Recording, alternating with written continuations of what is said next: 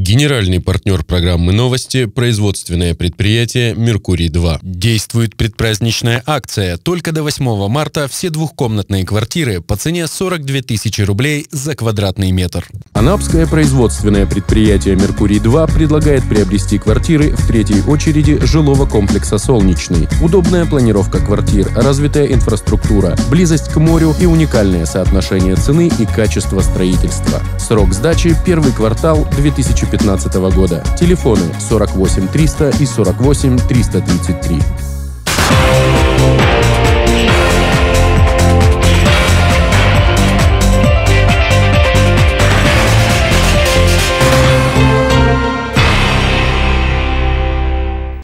Эфир канала РЕН-ТВ продолжает новости Анапа регион. В студии Ирина Меркурьева. Здравствуйте. Смотрите сегодня в выпуске.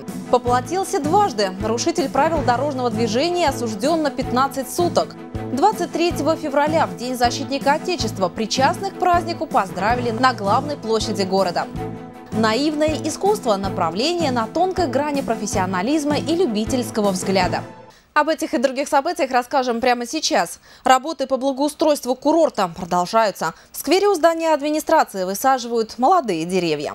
Пример для подражания. В сквере у здания администрации работники предприятия «Зеленстрой» высаживают ели. Восемь пятиметровых хвойных деревьев уже высадили на аллее. Две ели пересадили. В планах высадка деревьев на 24 перекрестках в городе. Эту работу завершат к началу летнего сезона. От памятника Герою России Вячеслава Евскину до сквера у трех свечей в новом парке Анапа уже высадили 50 деревьев, хвойных и лиственных пород. Работы по благоустройству продолжат.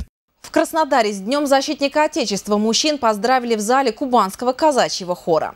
У входа в концертный зал защитников Отечества нескольких поколений встречают оркестром. Несколько минут до концерта в холле – время для дружеских бесед ветеранов. В зале Кубанского казачьего хора почетные зрители – ветераны Великой Отечественной войны, военнослужащие Краснодарского гарнизона, представители Кубанского казачьего войска. Гостям сквозь время обратились великие полководцы Александр Невский, Александр Суворов, Георгий Жуков. Напомнили о своих подвигах и славных сражениях. Защитников Отечества, уже выполнивших военный долг и служащих сегодня поздравили представители краевой власти. Я хочу искренне от всей души поблагодарить ветеранов Великой Отечественной войны, поблагодарить тружеников тыла, сказать слова благодарности тем, кто служил в горячих точках, защищал интересы великого, могучего государства и продолжает защищать.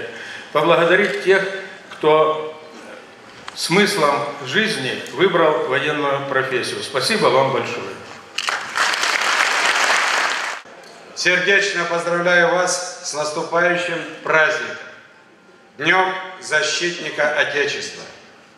Во все времена защита Родины была высоким нравственным и гражданским долгом каждого гражданина нашей страны. Оборонять свою землю, свой очаг в России – поднимались всем мира, от мала до велика. И потому этот день поистине общенародный национальный праздник. Праздничную программу организаторы концерта подготовили специально к 23 февраля. В каждом номере, песнях, танцевальных постановках творческие коллективы поздравили защитников Отечества с праздником. И в это же время в холле концертного зала работала необычная выставка находок времен Великой Отечественной войны. Наталья Пухальская, Алексей Мухортов, Анапа, регион, Краснодар. 23 февраля на главной концертной площади Анапы прошла акция «Мы – наследники города воинской славы», посвященная празднику защитников Отечества. В 6 часов вечера на театральную площадь пришли анапчане и гости курорта, чтобы все вместе отметить торжество.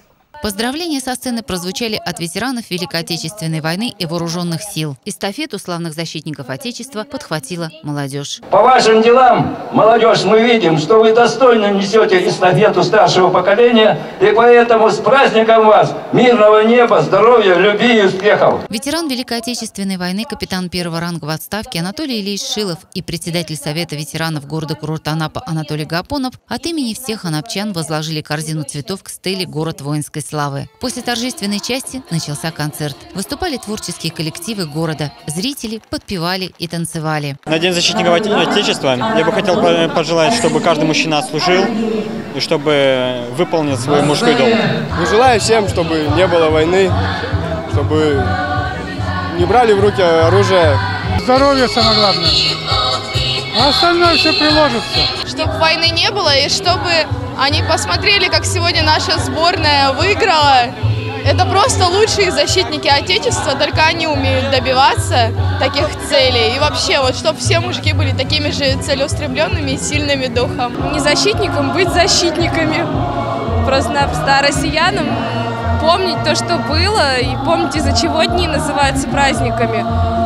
Следовать традициям. Желаю всем мирного неба над головой. Главное, чтобы у всех все было хорошо, всегда был мир, дружба даже если что-то случится, то чтобы мы стояли за свою родину, чтобы при, при любых обстоятельствах ее защищали. В городах-героях и городах воинской славы положено производить салюты в День Победы и День защитника Отечества. Первый в истории артиллерийский салют в честь победы русского оружия прогремел в декабре 1709 года по распоряжению Петра I в честь победы русских войск в Полтавской битве. С тех времен повелось на Руси торжественным залпом отмечать самые славные победы над врагами Отечества. В этот вечер над Анапой прогремели 23 мощных залпа и около 30 сопутствующих, озаряя небо феерией рассыпающихся огней.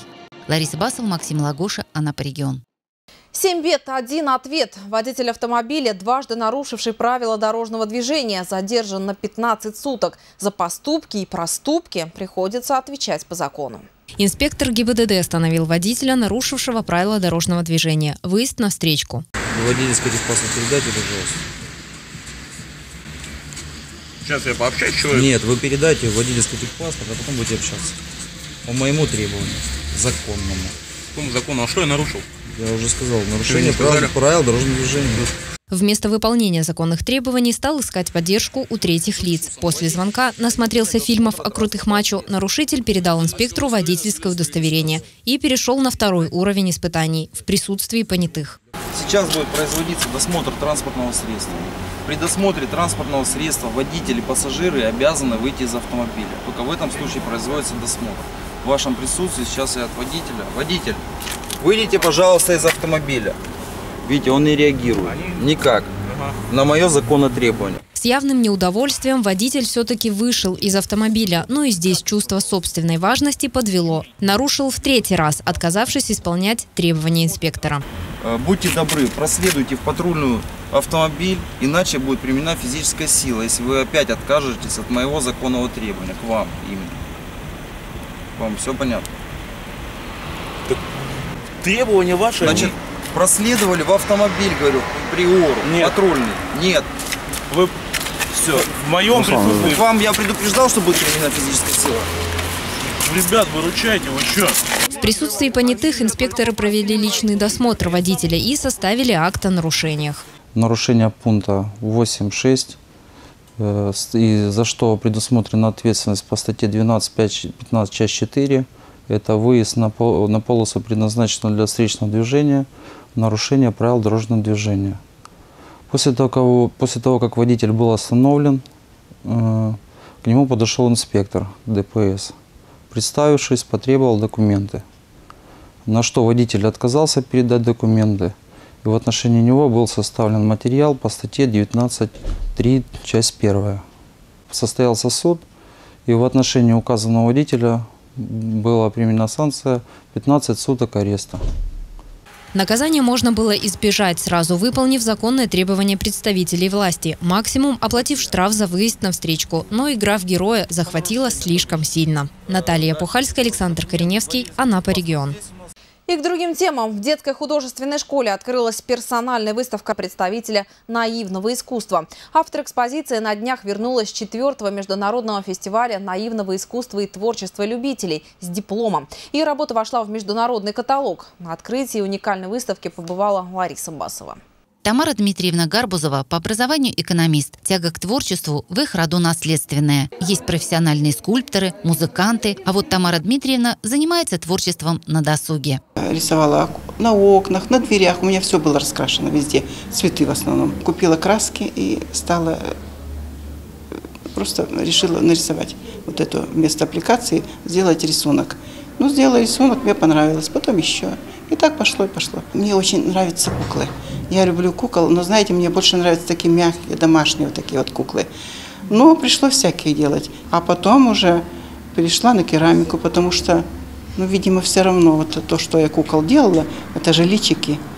И они э, мне что-то все равно это дало. До сих пор Тамара Дмитриевна рисовала и делала глиняные горельефные картинки для себя и на подарки. Принять участие в Международном фестивале наивного искусства Тамару Гарбузову убедил директор Анапской художественной школы Сергей Сахну. Очень серьезно здесь организаторы, очень серьезные э, художники в плане своей области, конечно, э, потому что здесь нельзя наив э, так сильно э, отвергать, вот как, как иногда, о, наивное, несерьезное искусство, ничего подобного. Наивное искусство, искусство, которое, корни которого в народе, в глубине веков, по сути дела, все наше российское искусство имеет вот именно вот эти корни, народные корни. Ценители искусства отдают предпочтение таким работам за простоту, не обремененную условностями академизма. Картины Тамары Гарбузовой потрясают оригинальным видением мира. Бытовые сценки становятся поэтичными и волнующими. И детям, особенно первому классу художественной школы, такое искусство близко и понятно.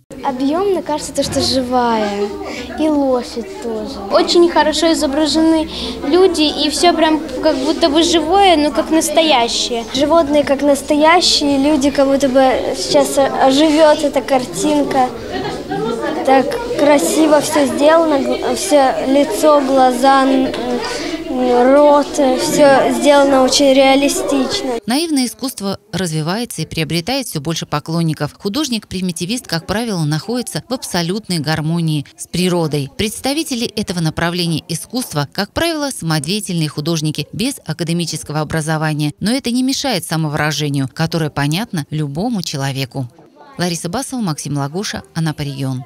1 марта в санатории «Делуч» пройдет День открытых дверей. В программе встреча с генеральным директором Верой Стефановной Севрюковой в 10 часов. В 10.30 пройдет презентация лечебно-диагностических отделений санаторного комплекса. С 11 до 14 часов врачи-терапевты и узкие специалисты проведут прием и консультации бесплатно. На обследование компьютерной томографии и УЗИ 1 марта скидка 50%. Дополнительную информацию узнавайте по телефону 5 49 96. Это все новости на сегодня. В завершении выпуска прогноз погоды.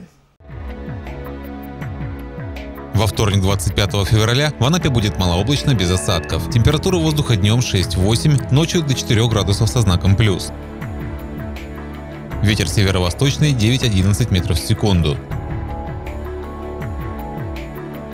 Атмосферное давление в норме – 759 мм ртутного столба. Температура морской воды в Анапской бухте – 7 градусов тепла. Далее блок полезной информации от партнера программы производственного предприятия «Меркурий-2». Эти и другие новости вы можете найти на нашем сайте. А я с вами прощаюсь. До встречи.